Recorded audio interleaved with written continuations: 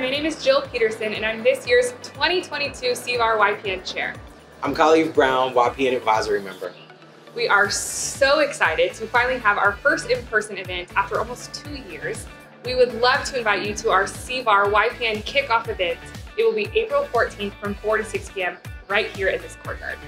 And this is our first event since 2020, so Wow. we are super excited to see all of you. We will also be talking to you about some events we have coming up, hopefully a park series on leadership, mental health, all the good things that we need now.